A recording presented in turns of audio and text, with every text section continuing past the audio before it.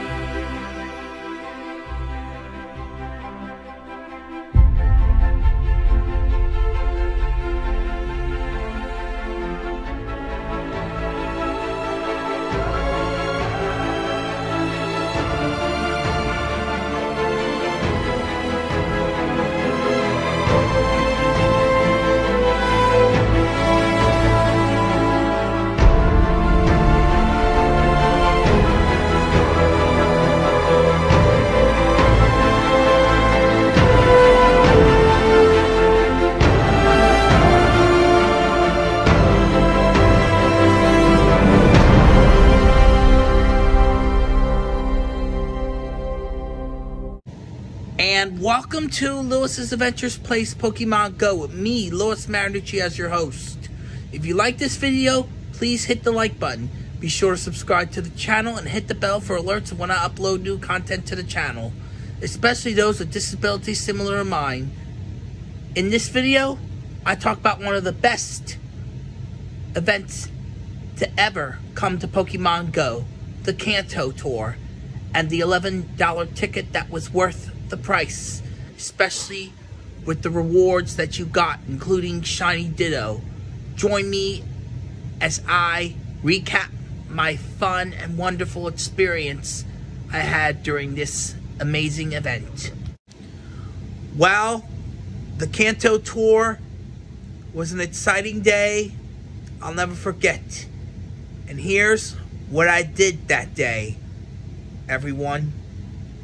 I was able to get a lot of shinies, which you will see at the end of this video. And I talk about what I did, the various activities and quests and tasks needed to complete this fun-filled day. This day was fun-filled, and of course, I had to do a lot of things. From doing a lot of raids to catching different species of Pokemon, evolving, not to mention trading, as well as defeat the challengers that were put into the game as well.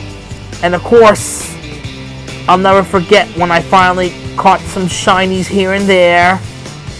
And you will see at the end of the video how many I got and of course, after this clip, I explain what the tasks I had to do during this event.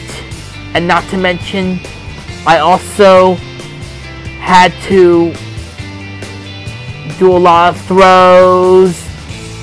And you see here the confetti.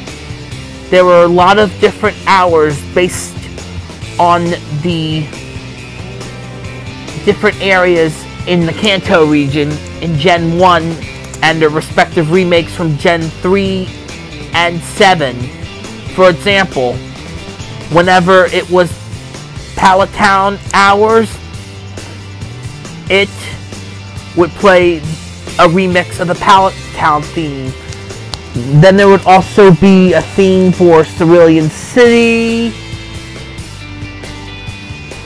Fuchsia City, the Pokemon League, and of course, there was even a remix of the Kanto bicycle theme at some point during this event. The footage I'm filming for this video will take longer because of the fact the time it took me to complete these tasks. Took me about close to three or four hours to finish. But the good news is I'm about to finally catch Shiny Ditto. And then after that, it's on to Shiny Mew. And then for the rest of the time, just plain old shiny hunting. I finally did. I finally caught Shiny Ditto, and now it's on to the quest for Shiny Mew. Stay tuned to see if I'm successful in completing that special research task as well. Well, Kanto Tour Day is in the books. My final shiny count, 22. 22 shinies, including Ditto. But unfortunately, I will not be able to catch Mew in this video. I may have to do that another time because it turns out the quest involving Mew will take a bit longer. It's a little bit easier if you'd already have the platinum for all the Kanto Pokemon registered in the Pokédex.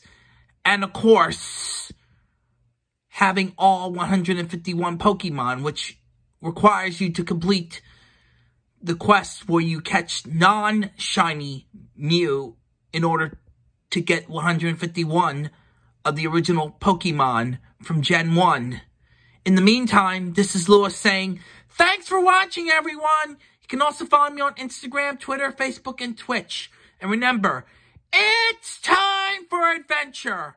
Also, during these times, when heading out, always wear a mask.